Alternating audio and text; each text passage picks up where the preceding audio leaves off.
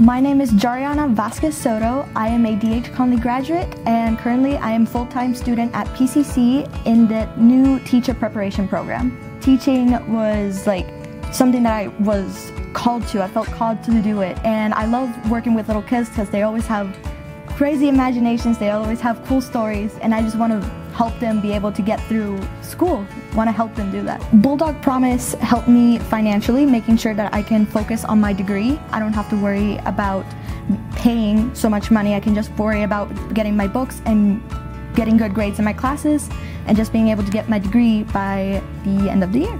My goal for the future is to transfer to ECU to get a bachelor's degree in elementary education and get a certificate that will let me teach English as a second language to elementary students. Thanks to Pitt Community College and the Bulldog Promise program, I am able to pursue my dreams and being able to teach children in the future.